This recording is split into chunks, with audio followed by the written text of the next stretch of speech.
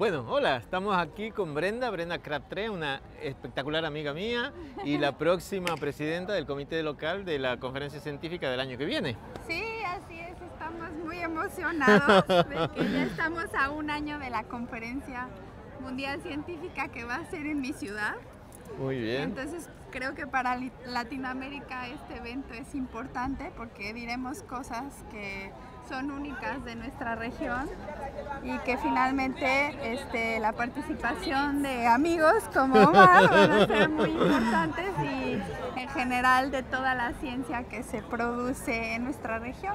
Así es que... Ah, qué bien, felicitaciones. ¿Cuándo son las fechas específicas? ¿Ya están las fechas? Son en julio, sí, del 21 al 24 de julio del 2019. Va a ser en la Ciudad de México, en el centro Banamex.